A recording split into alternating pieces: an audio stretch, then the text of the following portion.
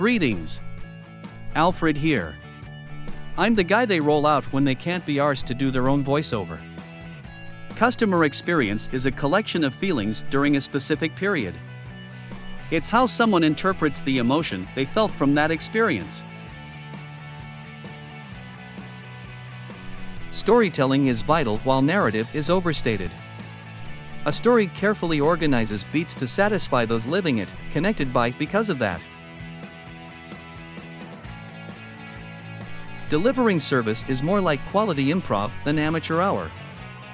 Handle unexpected reactions with moxie, like stand up comedy. To execute well, absolute confidence in your expertise is mandatory. It comes from grasping the science and knowing your limitations for further research.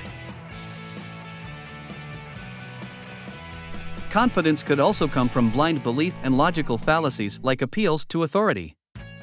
But in my work, involving physical health, it's critical to read primary research firsthand.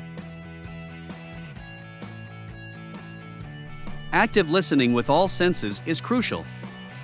Authentic responses tailored to reactions are necessary. For more information on how to implement this in your business, check out the Fitness Business Accelerator course.